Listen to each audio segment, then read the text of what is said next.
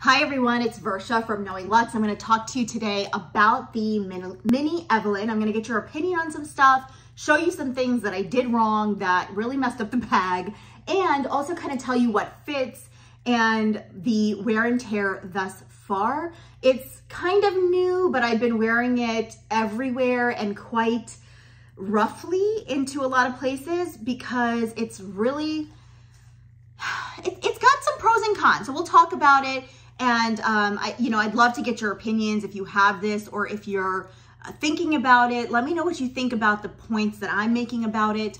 And yeah, let's get into it. If you are interested in this bag and you're like waiting for an offer or things like that, I have some comments about that as well. I typically like to talk about luxury from the perspective of like, not really trying to be an influencer, not really trying to make a point with like how I buy or like relationships with SAs and all that. Like, I guess sometimes that's kind of there because you're a luxury shopper, but there's definitely no angle when it comes to how I shop for luxury. It truly is about finding something that I can be passionate about and then going to get it because I like the way it looks, I like the way it feels or smells or whatever. And so, yeah, let's so let's talk about this. So this is the mini Evelyn. That is how it was described to me. That's what I, you know, I, I think there's some people that ha it has like TPM or something like that in its formal name. You can see that there's some white shining through, but it's because I have some papers in it um, from like before, like looks like somebody's business card. And so, you know, that's why this shines through because it has the holes in it. These are known as like writing bags. They, it originally was quite bigger. I think they made this to kind of jump on the trend of people wanting some smaller bags. This is the technically the front of the bag. It has a little clasp here, which I have never needed to use. I usually keep it open and wear it this way, quite frankly. Um, you can see that it has these creases here. And I'll tell you why. It's because I bought this. I bought this insert from Zoomoni, I think is the name of the brand. It was, honestly, I think I got the name from an influencer who was saying that they're very similar to the 7RP, which some other Hermes people have been into, but when you put it in and you overstuff your bag, it creates an indentation here. So I don't know if I'm gonna keep it because I actually really like, okay, that's actually a clean mask, but I'll take that out. I like the compartmentalization of a small bag. When it comes to big bags, I don't really like compartments, but small bags, it's nice because what I end up doing is I'll put my phone here. And what I did was I took my pop socket out. And uh, what I do is like, I'll put the phone between this in here. So it's always easy to grab. It's never getting mushed up with other things that are making it hard to grab. And then I always have like this key holder, which is kind of acting like my wallet these days because it holds enough of the cards that I use, my license and all that. So that comfortably fits. And then I brought brought a couple of other things to show you what fits in it. Uh, because in most bags, I kind of take this thing, which you've probably seen in other videos, and I stick it right in my purse, but it's too big for this. And so what will fit? The Hermes um, lip balm, because I always need some sort of a lip balm or lipstick or chapstick or something in my bags. And then we've got to have the hand sani.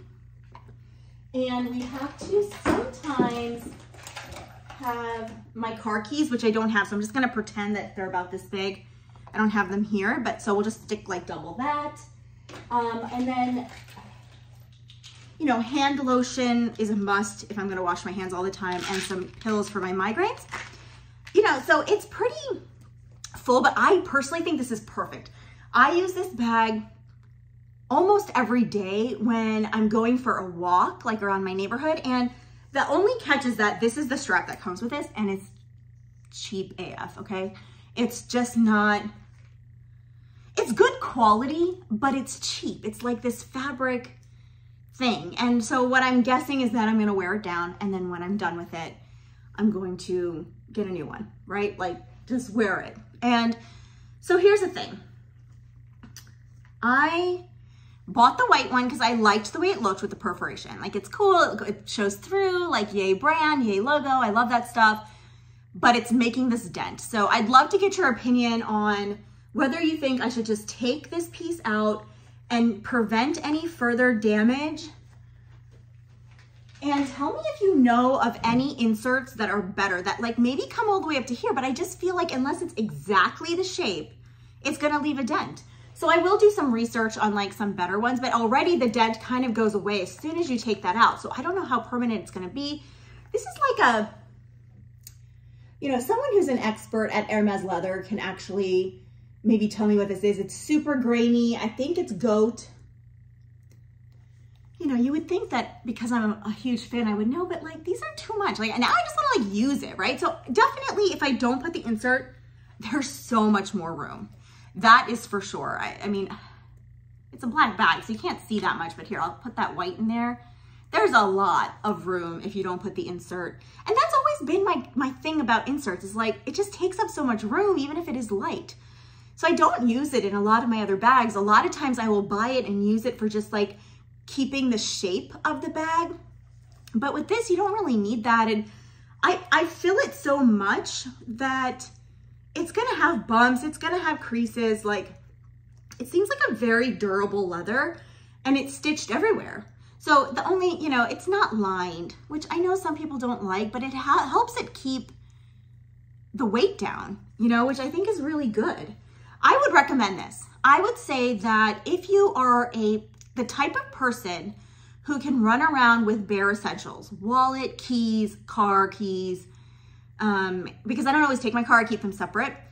If you can keep a minimal amount of things in your bag and you're you regularly run out for an errand or want to be a little more discreet and casual and want to have something you can go like this with so people can't tell, what it is, I think this is the bag for you. Now, let me show you how it looks on me. I'm 5'6", and I'm a size 14 US. And ooh, this is where it lands, which I think is absolutely perfect. I think some people might think this is too low. This is about how I think a Chanel wallet on chain lands about here as well. I think it's perfect for like a little boho look. I think it's perfect for um, leggings, you know, at the gym look, walking dog look. Not that I have a dog, but I see everyone wear these dogs, like my neighbors. Um, and so it is a perfect bag if you are looking to get a small bag. At first I was like, oh no, it's too small. But then as I started using it, I was like, oh, that's all I need. Like this is perfect. Uh, I think it can also be day to night. So I got the silver hardware. I think at the end of the day, I should have gotten gold, but I do see myself adding a chain strap to this, like a silver chain strap, just to like dress it up if I needed to have something like that. And because I travel a lot, I think that could be really useful. I'm trying to think what else you would need to know. If you have comments or questions about it, please let me know. Oh, how much I spent to get this. So some people consider this to be like hard to get. I had no idea. Uh, I had never been offered a bag before. There was one sitting on a shelf once that I was considering that was like an Evelyn 32, which I don't even think they make anymore. And he was like, the sales associate was like, oh, do you want this one? It was in Etoupe. And I was like, oh, I want in Etoupe bag. I'm so glad I didn't get that because I would not have used a bigger version of such a floppy, big, sort of like, this is not big, but like floppy, kind of like no daintiness kind of bag. It's very masculine of a bag, um, if we're gonna go with that kind of terminology. And it's also just kind of frumpy when it's bigger. So this is really the perfect size for me. I think anything larger without a zip is also just like major potential for someone like myself to just have everything fall out. So that's the other reason I think the mini one is where it's at. The other thing is, um, okay, so what did I buy? So I walked into the New York boutique in Greenwich, which I got the best customer service there. Just walk in, uh, walk in only, or I think I made the online appointment there. Got a random sales associate who was really, really sweet. And I did have a few things that I was looking for, of which I think they only had like one thing. And that's when I also ordered some pillows. I ordered, um, something else that came in the mail. I think pillows and like maybe a scarf and then a scarf ring. And then I wanted to buy some jewelry, but they didn't have my size.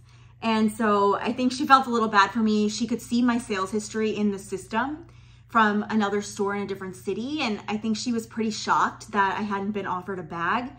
So out of pity, she kept looking. She went back twice. So my guess is that her opinion of me might have shifted mid midway. I don't know. I mean, I was like drooling over a Barenia bag that I was seeing getting offered like two steps away from me. And uh, I kept looking over, looking over, and you know, then there was like friendly conversation happening with me as well. It was really, really sweet. And everyone in that store loves each other, which I think is also really great because you don't want to go when it's all stuffy. Like those days are over. No one wants to be among snobs anymore, you know?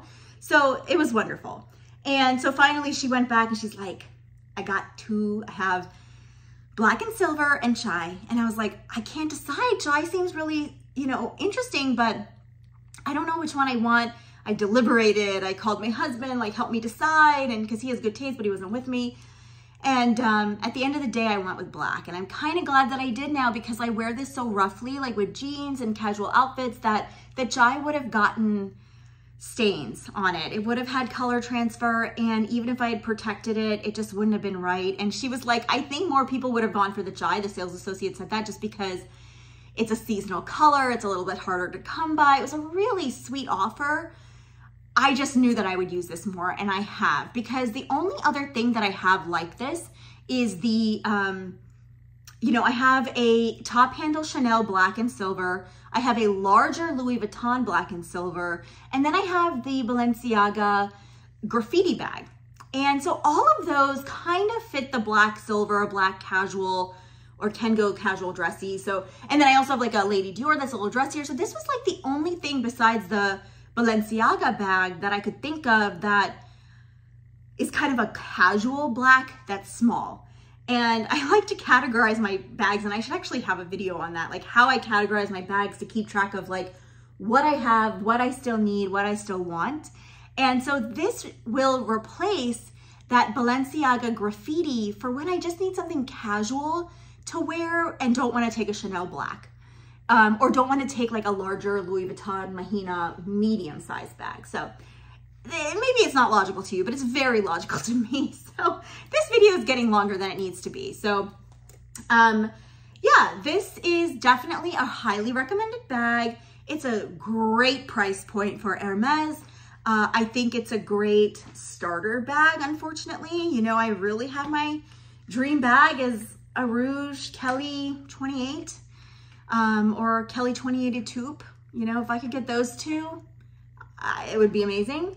Um, but no luck. And so, ooh, and a Birkin in like blue ecru. I just learned that one recently. Anyways, excited about that. So, so here we go. Um, see if you can find one. I do recommend it. I recommend it in black or some other dark neutral. And I would love to answer any other questions you might have about this. If you've made it this far, please subscribe if you haven't already. Likely that you have if you've made it this far based on the YouTube um, algorithms that and analytics and all the stuff that I'm learning about it. But like I said, this is my hobby. This is what I want this channel to be is just like a place for like people who like use this stuff all the time and are interested in all this stuff to just come and learn and talk and share and create a community about these things. And uh, yeah, I love getting comments. I love hearing what you have to say. So definitely give me your opinions. Let me know what you want to see more or less of. I do owe some people some videos that have made some recommendations and requests and I will get to them. I just haven't yet, so I apologize. But thanks for watching.